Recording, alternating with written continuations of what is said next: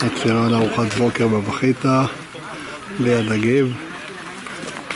אמר שהוא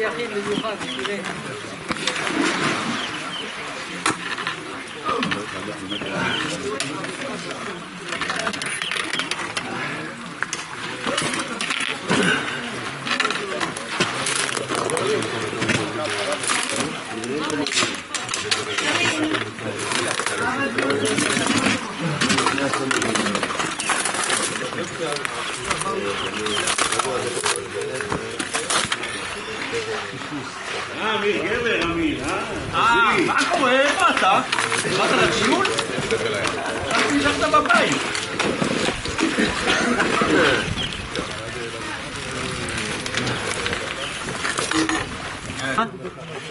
עוד מעט מתחילים אולי את אה, ואדי זוכיחה.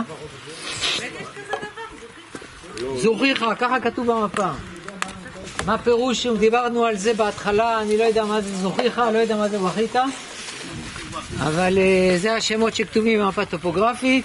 צריכים לברר, אולי זה אה, שמות מחודשים, אה, יש מפות שבכלל הוואדי הזה לא מסומן, אז זה, זהו. בקיצור, מה, מה, אנחנו רואים פה מערות, למשל פה למעלה אנחנו רואים מערה, זה לא מערה, זה כזו. לא, שם יש מערה. הערה שהתמוטטה.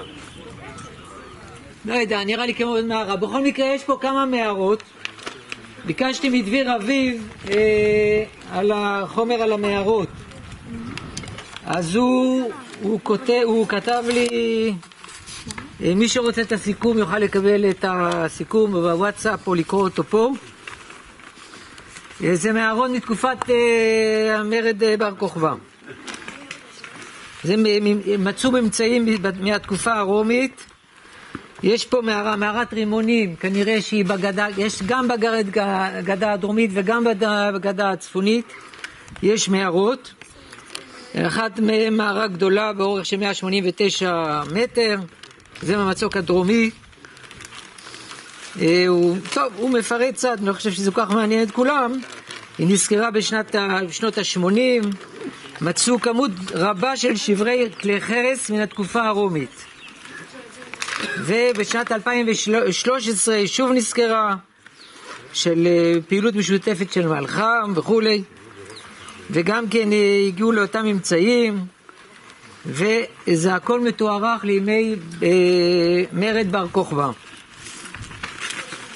יש עוד מערות במערה גדולה גם כן באורך של 157 מטר במצוק הדרומי, מצוק הדרומי הכוונה הצוק הזה,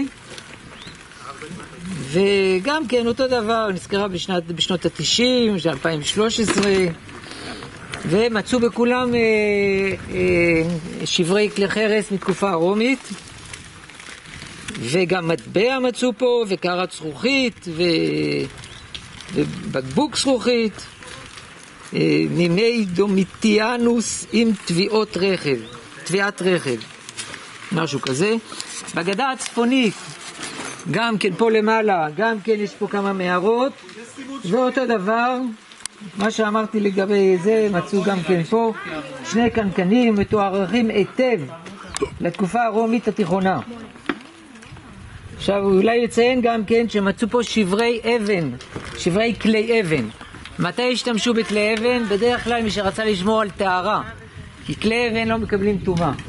אז זה יותר כבד ויותר שביר כנראה, אבל בכל זאת היו פה גם כן אה, כלי אבן, אולי זה היה כהנים, שמרו על הטהרה. אה, למערות אנחנו לא נגיע, אבל מי שירצה בכל זאת, אז אה, כשאנחנו נטפס, אז באיזשהו מקום, הוא ישאל אותי, אני אגיד לו בערך איפה, צריך לטפס על הקובה ולהגיע למערה מהצד השני.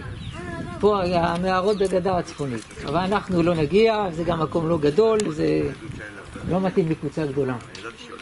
זהו. ההמשך של הטיול, אז תחנה הבאה זה יהיה חווה של זוהר. זוהר זה בן יישוב כוכב השחר, הבן של עמוס סבח מרשות שמורות הטבע. אה, הוא הקים את החווה לפני שנה בערך, והמינהל האזרחי כל פעם שהיו רצים לבוא להרוס לו- להם את החווה, אז לפני שהם היו באים הם היו מפרקים אותה, ככה שלא יהרסו להם.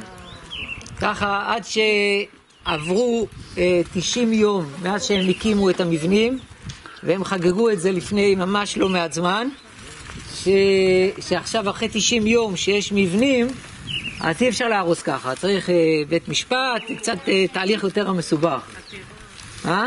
עתירות, משהו כזה, כן. אז הם עשו על זה חגיגה קטנה, שעברו 90 ימים ולא הרסו להם. פתאום. אה, בקיצור, הם, הם עושים שם, אז באמת מסירות אה, נפש גדולה. אין להם, אה, כמובן יש להם מים עוקב או משהו כזה, וחשמל, יש להם פאנלים, אז יש להם קצת חשמל, והם מחזיקים את המקום, כי אם הם לא יהיו שם, אז אה, פשוט הבדואים יהיו שם. אז לכבודנו הם הקימו, הם, אה, הם יכינו גבינות עיזים, גם האח שלו איתו שם קבוע, ויש עוד כמה בחורים, אח שלו ספיר. אפשר לקנות? אה? אפשר לקנות כאילו? כאילו? גבינות עיזים, כן, הם ימכרו, בוודאי, ימכרו. הם ברוך השם שורדים, זה המון הוצאות, יש להם המון הוצאות, אבל ברוך השם אמרו שהם הצליחו לגמור את השנה, מאז שהקימו את החווה, הצליחו לגמור אותה בלי, בלי חובות ובלי יותר מדי אה, הפסדים. יש דרך שמקשרת בין החווה לכוכב השחר? לא, אין דרך. מי שרוצה להגיע לחווה, אז אה, טארק אבו ג'ורג', יורדים את הכביש הזה שנראה אותו בהמשך. יורדים אותו בסוף הירידה, פונים שמאלה בדרך עפר, וקצת ככה להתמצאת בשטח ומגיעים לחווה. אז אה, זה החווה.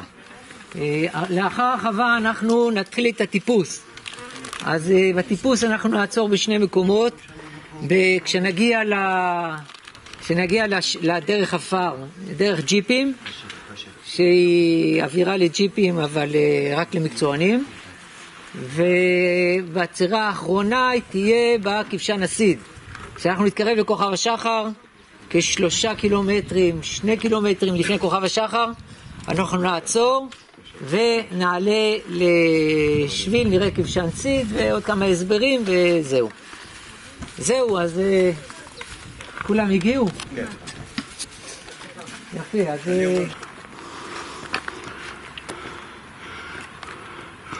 יצאנו מהנחל, עברנו מהחווה של זוהר,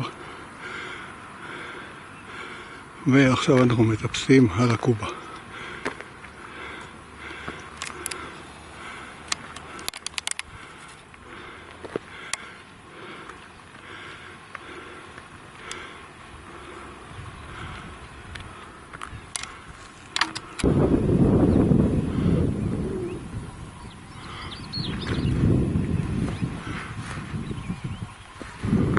הנה הקובה, קובה מולנו. אנחנו בדרך, מול הדרך העפר לכיוון כוכב השחר. עוד פעם הקובה.